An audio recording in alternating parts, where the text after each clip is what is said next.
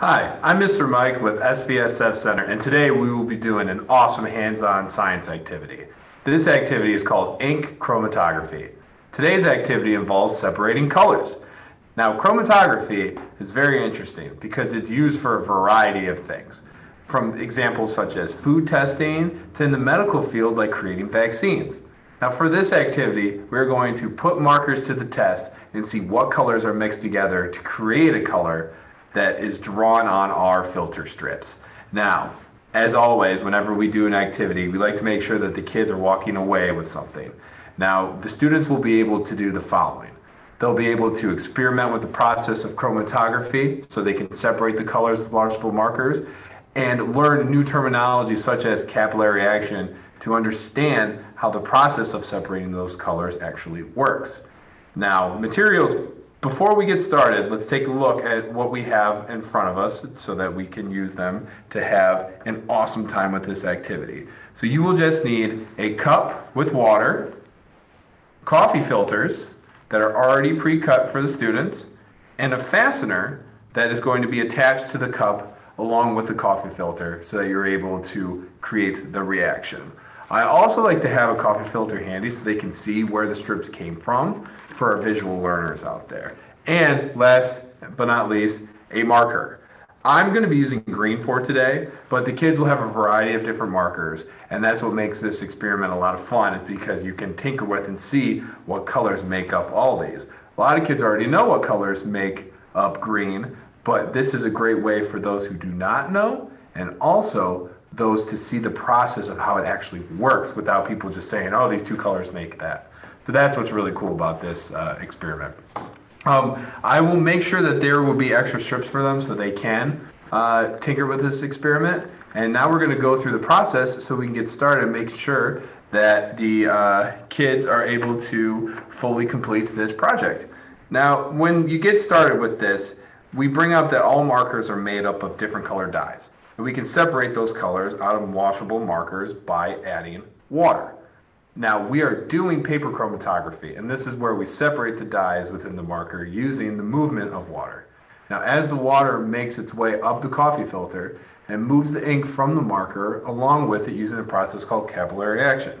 Now to get started with that, you take your coffee filter and you draw a thick line on the filter, just like this. You don't want to make it too thick but as you can see, I have a good thickness right there. You don't want to do it at the very bottom because you want the water to move up. You want the capillary action to actually be successful. And then you take your fastener and you're going to attach it to the water cup. Now, I already did this for us.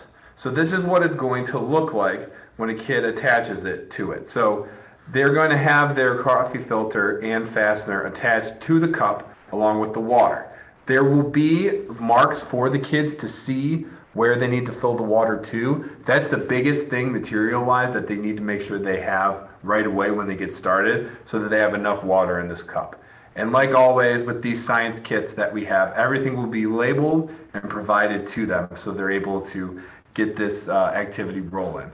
Now, when facilitating this activity, please make sure that the students are being introduced to the different terms such as capillary action like I uh, just previously talk, discussed and also chromatography. Now when they are done this should look something similar to this. Now I want the kids to observe what happens when it moves up the coffee filter because now you're able to see a little bit of what separates, what colors separate to form green. Now you can see a little bit of yellow and there's also some blue.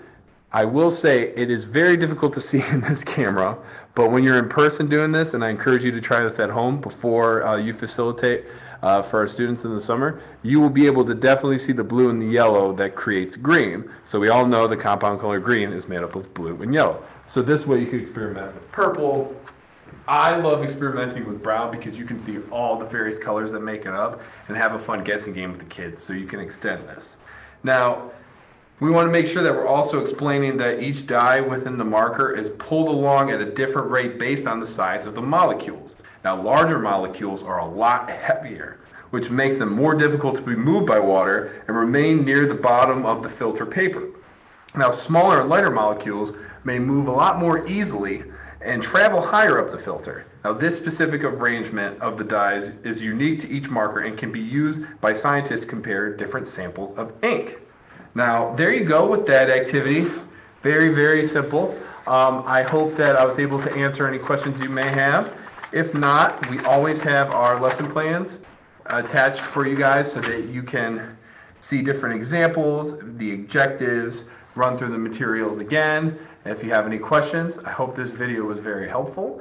And thank you so much for helping out for our summer program, and I hope that you have a great day.